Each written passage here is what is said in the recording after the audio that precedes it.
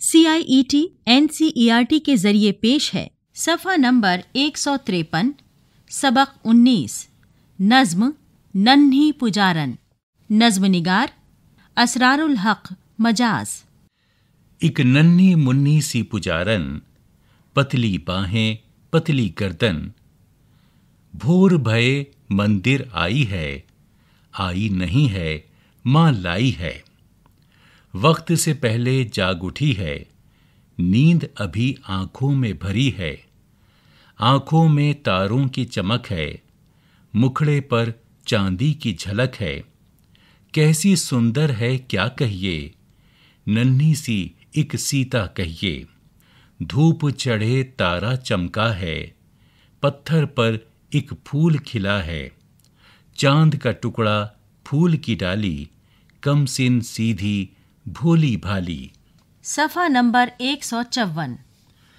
कान में चांदी की बाली है हाथ में पीतल की थाली है दिल में लेकिन ध्यान नहीं है पूजा का कुछ ज्ञान नहीं है कैसी भोली और सीधी है मंदिर की छत देख रही है माँ बढ़कर चुटकी लेती है चुपके चुपके हंस देती है।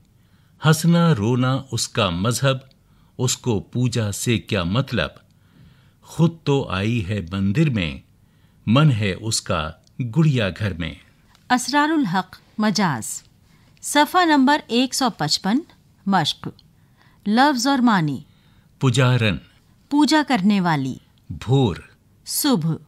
मुखड़ा। चेहरा। सीता। रामचंद्र जी की बीवी का नाम। धूप चढ़े। दिन चढ़े। कमसिन कम उम्र। ध्यान। गहरी तवज्जो। ज्ञान। इल्म। गौर कीजिए।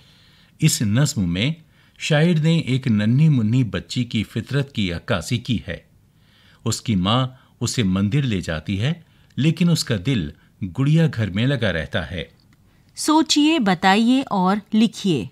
एक इस नज्म में नन्ही पुजारन किसे कहा गया है? दो शायर ने आँखों में नींद भरी होने की क्या वजह बयान की है?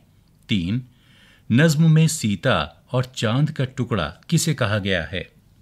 सफ़ा नंबर एक सौ छप्पन। चार शायर ने नन्ही पुजारन के बारे में क्या क्या बातें बताई हैं?